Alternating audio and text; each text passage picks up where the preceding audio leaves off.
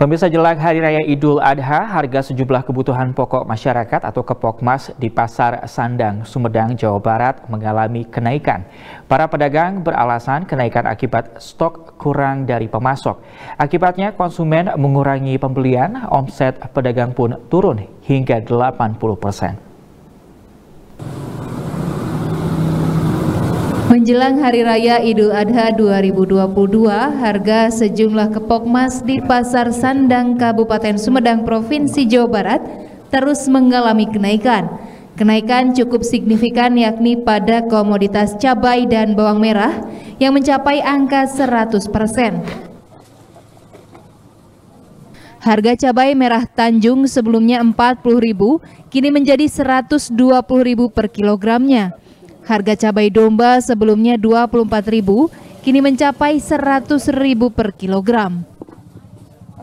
Kenaikan pun terjadi pada harga bawang merah yang sebelumnya harganya Rp30.000 kini menjadi Rp70.000 per kilogram. Menurut para pedagang, melambungnya harga cabai dan bawang merah sudah berlangsung sejak dua pekan terakhir akibat pasokan dari distributor terus berkurang. Akibat melonjaknya harga cabai dan bawang, omset pedagang turun hingga 80% karena sepi pembeli. Lagi pada mahal-mahal sekarang mah. Apa aja tuh kan? Cabai, bawang, cabai cabai cabean ya, bawang merah serba mahal sekarang. Terus yang paling signifikan apa tuh Pak? Yang mahal. Yang gimana cabai Tanjung. Oh, berapa tuh? Sekarang 120 satu per kilo. Kalau awalnya? Awalnya cuma 40 30. Terus cabai domba berapa pak? Cabai domba jadi 100 ribu satu kilo dari dari 24 ribu. Oh, sayurnya mahal, cabai, cabai domba, cabai merah, cabai keriting, cabai ini kan 100 ribu.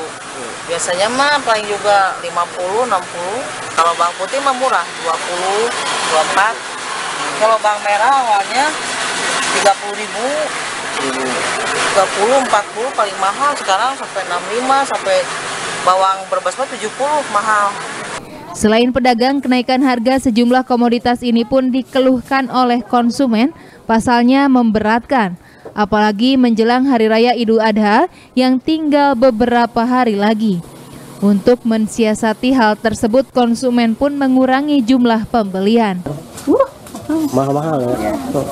Kalau yang kecil mah, iya, usaha yang kecil mah. Terus gimana disiasatinnya? Dikurangin atau belinya apa gimana? Dikurangin. Dikurangin aja ya. Iya, iya.